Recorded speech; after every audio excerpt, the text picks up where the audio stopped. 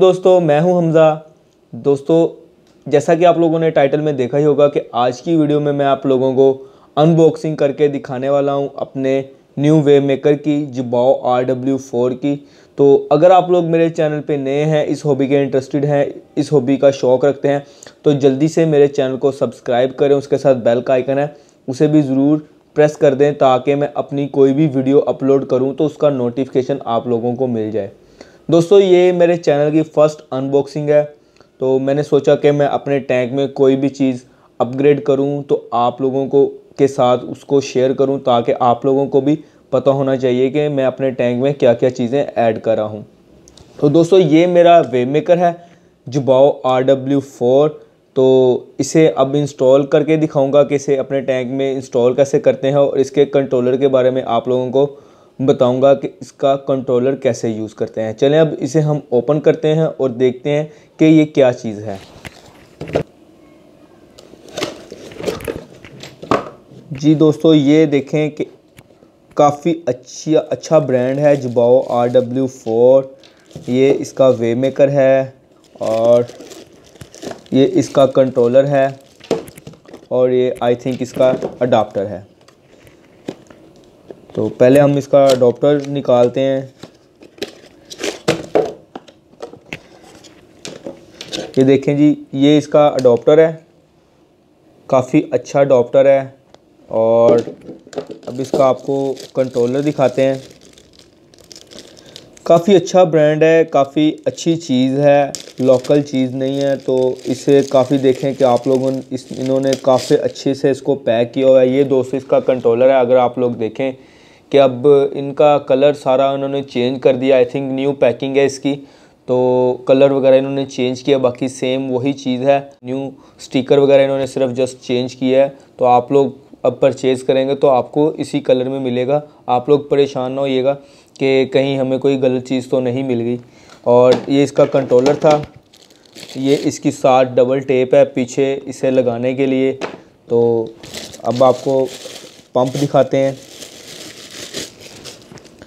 जी दोस्तों, ये इसका पंप है। अगर आप लोग देखें कि छोटा सा पंप है। आई थिंक मैक्सिमम इसका जो साइज़ होगा यहाँ से लेके यहाँ तक बैक वाला मैग्नेट निकाल के अगर हम इसका साइज़ करें तो जस्ट सिर्फ़ तीन इंच का है ये। और ये इसके साथ पीछे काफ़ी पावरफुल मैग्नेट है। अगर आप लोग देखें कि काफ़ी अच्छा मैग्नेट है।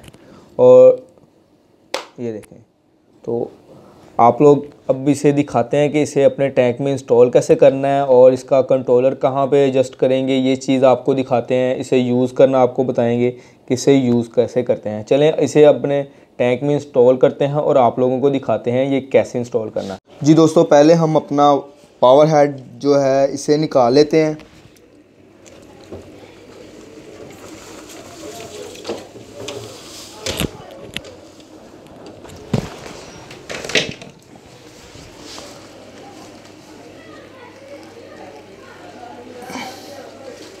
और अब अपना जो न्यू वे मेकर है, इसे हम ऐड करेंगे। इसकी पहले तार ओपन कर लेते हैं। जी दोस्तों, पहले वाला वे मेकर हमने निकाल लिया है। अब हम आपको न्यू वाला वे मेकर इंस्टॉल करके दिखाते हैं, किसे इंस्टॉल कैसे करना है। ये इसका मैग्नेट है। ये जो मैग्नेट है, ये बाहर वाली साइड पे रहेगा और ये वाला पंप है, इसके साथ जो मैग्नेट है, ये अंदर वाली साइड से एडजस्ट होगा। अब आप लोग देखिएगा कि इसे हम इंस्टॉल कैसे करते हैं। ये दोस्तों, पहले आपने इसे यहाँ पे, जहाँ पे सेट करना है, वहाँ पे सेट कर लें। उसके बाद ये जो बाहर वाला मैग्नेट है, इसे आपने क्लिक कर लेना है और ये देखें कि ये आपका वे मेकर इंस्टॉल हो गया तो इसे अब मैं नीचे जो इसका जो कंट्रोलर है, उसे सेट करके दिखाता हूँ अंदर वाली साइड से, क्योंकि मैंने अपना कंट्रोलर बाहर नहीं लगाना। तो इसे मैं अपनी तार को अपने बॉक्स में पीछे फेंक लेता हूँ और आप लोगों को इसका कंट्रोलर ऐड करके दिखाते हैं। अगर आप लोग देखें, ये यहाँ पे अगर आप लोग देखें कि इसके अंदर तीन पिन्स हैं और इसी तरह इसके अंदर जो है वो तीन सुराख हैं। इन सुराखों को इनके साथ अटैच करना है आपने और इसे अटैच करता हूँ। ये देखें कि ये यहाँ पे क्लिप हो गया और ये इसका एक साथ उन्होंने स्क्रू दिया इसे आप टाइट कर लें ताकि आपकी बार बार ये बाहर ना निकल जाए। इसलिए इन्होंने साथ इसको टाइट करने के लिए दिया हुआ है। और ये कंट्रोलर है, अब हम इसे देखते हैं कि इसे हमने कहाँ पे एडजस्ट करना है। इसकी डबल टेप पहले हम लोग पकड़ लेते हैं। जी दोस्तों, ये इसकी डबल टेप है, इसे यहाँ पे हम अटैच कर लेंगे और इसे सेट कर लेंगे जहाँ पे सेट करना है। ये इसकी एक साइड आप लोग इस साइड पे एडजस्ट कर लें और जो यहीं पे इसकी दूसरी साइड है, इसको आप लोग उतार के इसे यहाँ पे हम, मैं एडजस्ट करने वाला हूँ।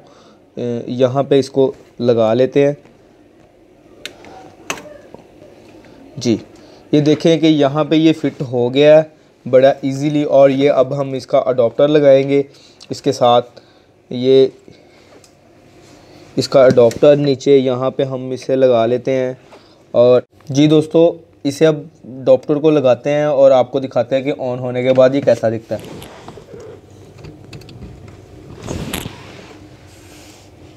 जी दोस्तों, देखें कि ये अब ऑन हो गया है।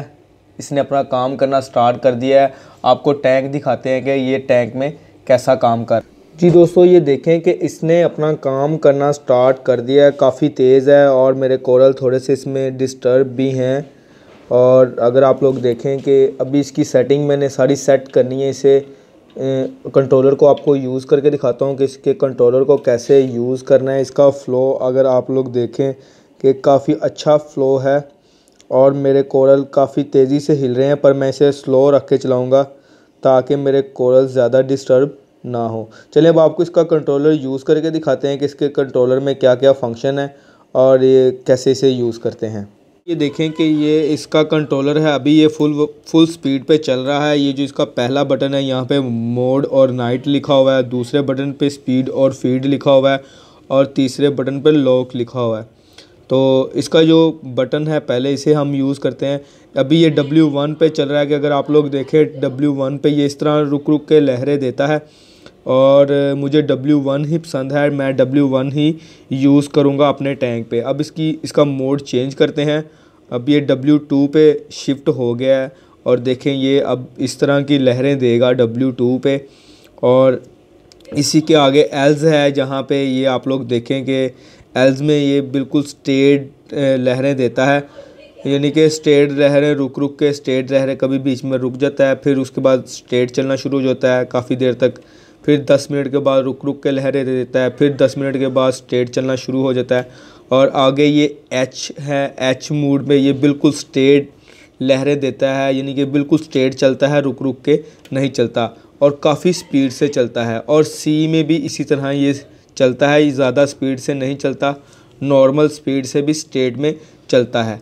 अब हम इसका नाइट मूड ऑन करते हैं। नाइट मूड में इसे अगर हम लॉन्ग प्रेस करेंगे तो ये देखें कि अगर इसे हम लॉन्ग प्रेस करते हैं तो ये नाइट मूड वाली लाइट ऑन हो गई है। तो अब ये इस वक्त नाइट मूड में हो गया है बिल्कुल स्लो चल रहा है, ताकि ऐसा लगे कि जैसे कि फ़्लो टैंक में कम हो गया है। अब इसका हम नाइट मूड ऑफ़ करते हैं, इसे लॉन्ग प्रेस करने से ही हमारा नाइट मूड ऑफ़ हो जाएगा।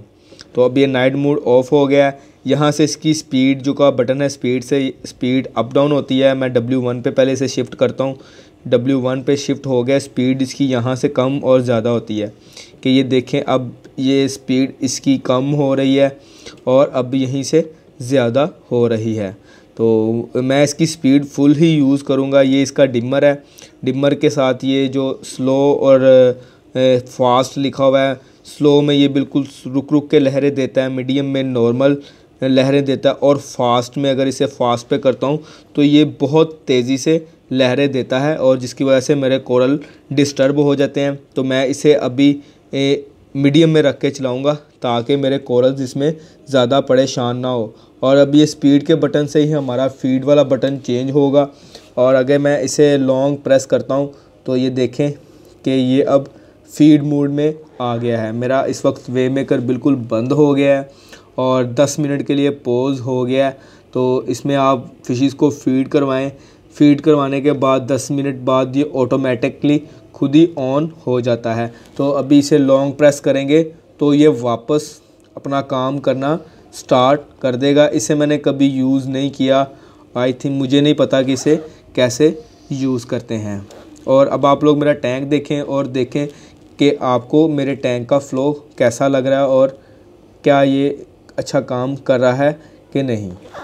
जी दोस्तों, देखें कि इसका फ़्लो तो टैंक में काफ़ी अच्छा है, मेरे कोरल इसमें काफ़ी अच्छे से हैप्पी भी हैं और काफ़ी खुश भी हैं। ये देखें कि यहाँ पे ये बिल्कुल नीचे बॉटम पे पड़ा हुआ है और आप इसके पॉलिप्स देखें कि इसके पॉलिप्स भी मूव कर रहे हैं।